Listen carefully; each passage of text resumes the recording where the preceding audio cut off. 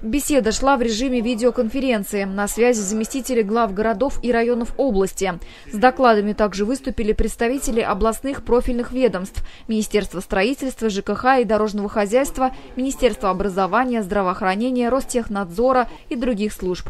Основное внимание – анализу работы прошедшего года. На его основе предстоит сделать выводы и составить план на год текущий. У нас э, было несколько аварийных ситуаций и технологические отключения. Сегодня мы подробно их разберем, но можно сказать, область в целом прошла отопительный сезон э, нормативно. Второй вопрос, который не менее важный, мы сегодня разберем, это подготовка краткосрочного плана проведения капитального ремонта многоквартирных домов.